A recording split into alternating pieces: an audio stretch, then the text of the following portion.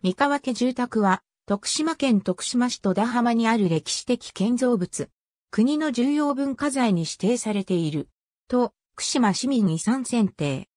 昭和4年、産婦人科病院を開院していた医学博士である三河義行がドイツ留学中に徳島県立工業学校建築家出身の建築家である木内と与次郎と出会い、同世代ということもあり意気投合、交流を深めた。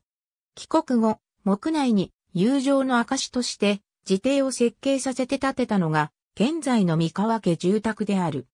当時としては珍しいドイツ風の鉄筋コンクリート造り3階建てで、展望台として活用できる塔屋を高く立ち上げ、2階には波形平面のテラスを設けている。また、関東大震災の被害を踏まえ、芸術性だけでなく耐震性も考慮されている。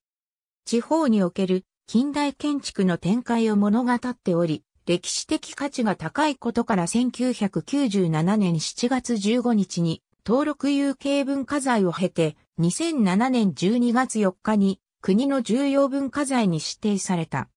母屋のほか、岩屋、外便所、門及び塀が重要文化財の月として指定され、宅地815平方メートルも建造物と一体をなして価値を形成しているものとして重要文化財に指定されている。構造の強化だけでなく、装飾に至ってもコンクリートの特性を最大限に活かし、他に類を見ないユニークな建築物となった。現在は徳島市の所有となっているが、公開はされておらず、市は活用方法を検討中である。